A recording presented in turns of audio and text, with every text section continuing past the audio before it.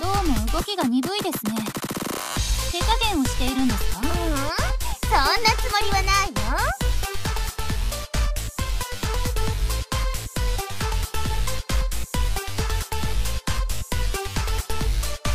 けどさなんかテンション上がらないんだよね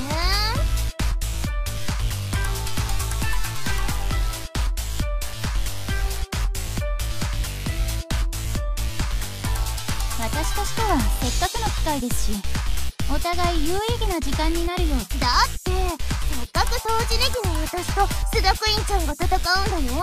この詩なのに怖いどうして無観客なの？言ったでしょ？これは練習試合です。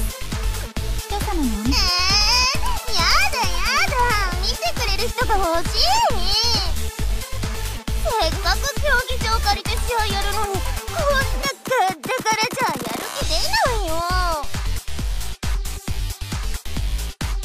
ービス第一。須田クイーちゃんもファンサービスしないと。ファンとかしてファンがいなかったら戦う理由ない。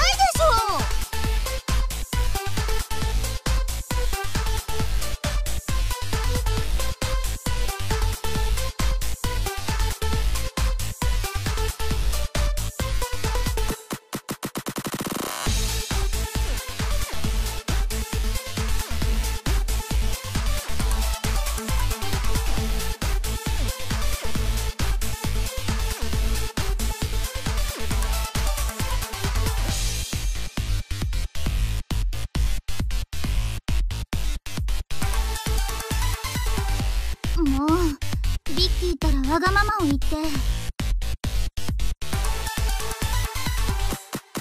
ビッキーこの後に及んでダダをこねるなんて不誠実よ。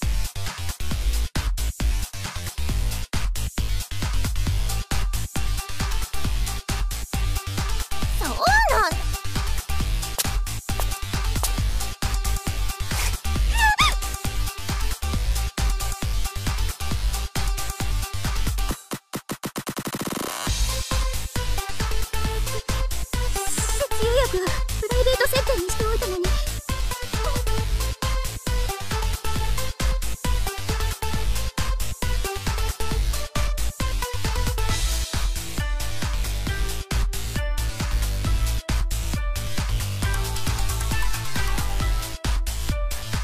私は源しずく予備高校3年生です。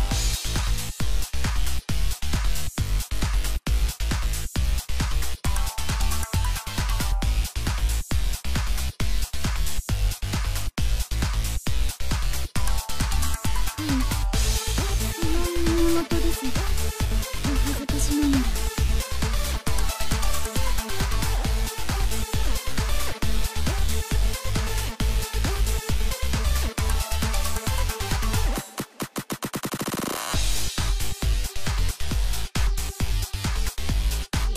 やめてください。私はそんな